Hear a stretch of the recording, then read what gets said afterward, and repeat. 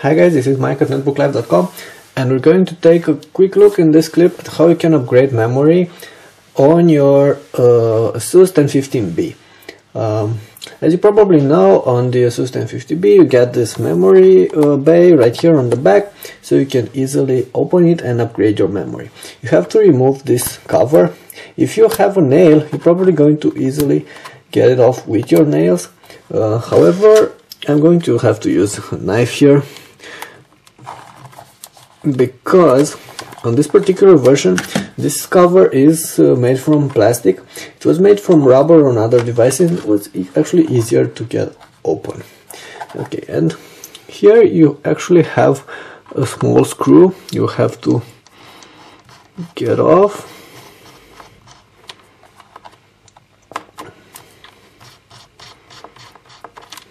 Okay.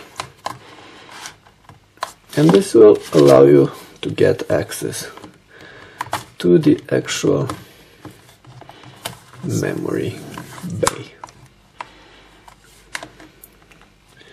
Probably best to use this knife here.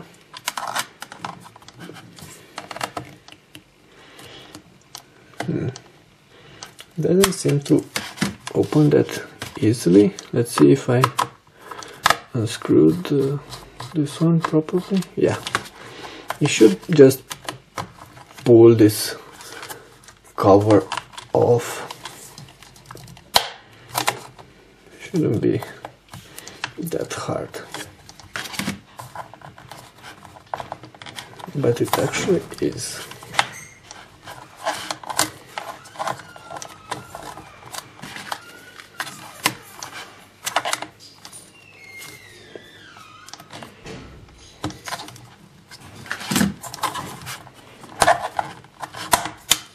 okay fine. So it was a little bit more complicated than I was expecting. And here you have the memory. You have these two clamps here. You just have to open them. And you're going to get access to your memory module. And as you can see we have a 2 gigabyte memory installed in here. This one works with uh, 1060 uh, megahertz uh, DDR3 modules. There's also there's only one memory module in here, so uh, you can upgrade it with an up to 4 gigabyte memory. Uh, in stores it will probably come with only 1 gigabyte so this is why I recommend upgrading it putting memory back you have to place it like this and press it until these clamps go all the way in. Okay this is pretty much all. And then you're going to have to get this pesty clamp back on. So that it wasn't so easy to get off. It's actually easier to get back on. And then you have to screw this thing, the screw back like this, pop in the cover,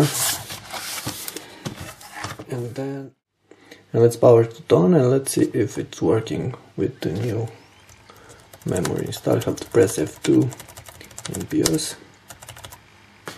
Okay, so here we are, 2 megabytes of memory installed, 2 gigabytes of memory installed DDR3, like I said.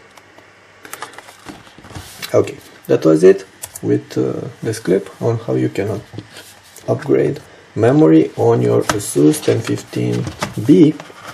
If you're wondering how you can upgrade hard drive, well, this is a little bit more complicated because in order to upgrade hardware, hard drive, you're going to have to uh, remove the entire back panel and hard drive is placed somewhere underneath the keyboard so upgrading hard drive will uh, avoid warranty and uh, I advise you only to to proceed to this if you really know what you're going to do or uh, if uh, or if you can you can go to a specialized store and uh, ask them to to upgrade uh, hard drive for you. Okay.